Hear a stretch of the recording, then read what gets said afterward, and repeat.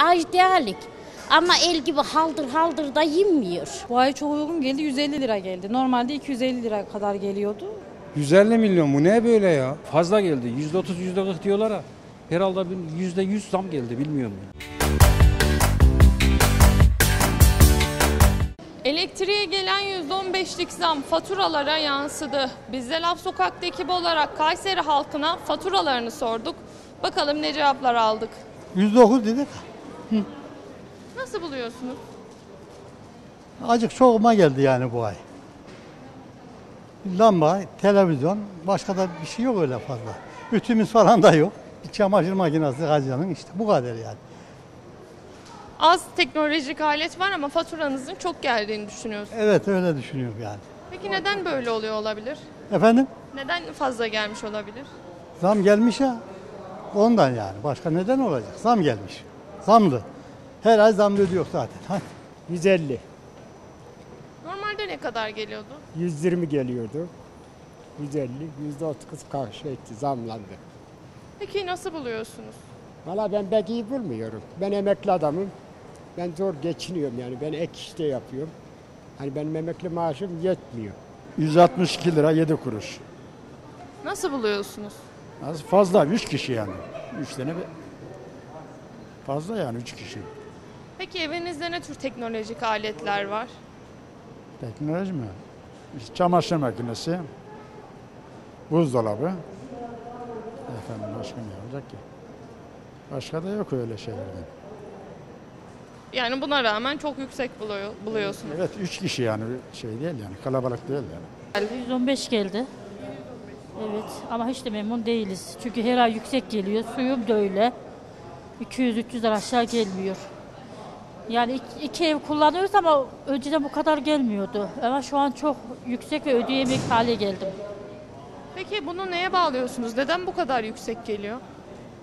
Bilemiyorum vallahi. Ekonomik herhalde bilemiyorum ki. Çünkü önce bu kadar hiç gelmiyordu. Şimdi ama çok yüksek geliyor. E, Çocuklarım var hani 5 tane çocuğum var ödemesine hep çok zorlandık. Benim bir iş yerine normalde e, 250 lira geliyordu. Şimdi 550-600 lira geldi. Yani fazla geldi. %30, %40 diyorlar ha. Herhalde bir %100 zam geldi bilmiyorum. Peki bunun sebebi ne olabilir? Zamlara mı bağlıyorsunuz bunu? Başka ne olabilir ki? Yani zamdır. Başka ne olabilir ki yani? Normalde ben 250 lira ödüyordum. 200-250 lira 3-4 ay öncesine kadar. Yaklaşık 2 aydır 500-550 lira geliyor. Çarşıda iş yerim var yani. Aşırı yüzde yüz, yüzde yüzü bile geçiyor yani.